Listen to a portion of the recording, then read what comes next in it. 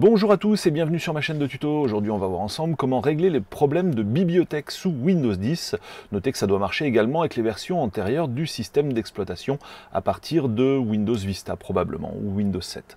Alors lorsqu'on a des soucis, qu'on retrouve plus les bibliothèques dans l'explorateur de fichiers, qu'elles ne sont plus affichées, donc la bibliothèque c'est quoi? Eh bien en fait c'est euh, une arborescence en fait dans laquelle on va trouver vos dossiers utilisateurs, à savoir mes documents, mes images, mes musiques, mes vidéos, mes téléchargements, etc. Donc si ça, ça n'apparaît plus, voilà comment procéder. Tout d'abord, vous allez vous rendre dans l'explorateur de fichiers. Pour ça, vous cliquez sur le petit bouton jaune en bas dans la barre des tâches de Windows, ou alors vous faites la touche, la combinaison de touches Windows et la touche E. Donc la touche Windows, c'est la touche qui se situe entre la touche CTRL et Alt de votre clavier, donc euh, tout en bas, tout à gauche de votre clavier.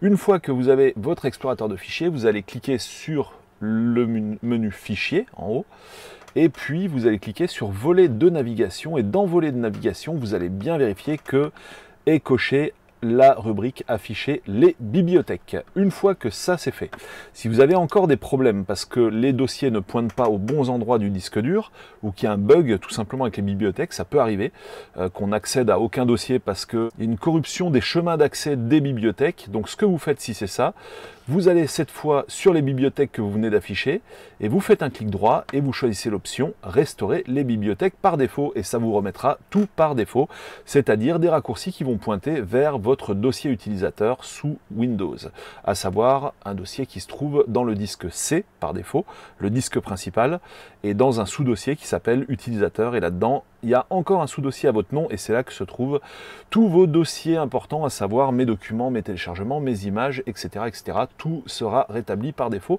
grâce à cette action. Voilà, j'espère que le tuto vous a aidé. N'oubliez pas le petit pouce bleu si c'est le cas. Merci de l'avoir suivi et à bientôt pour d'autres tutos vidéo.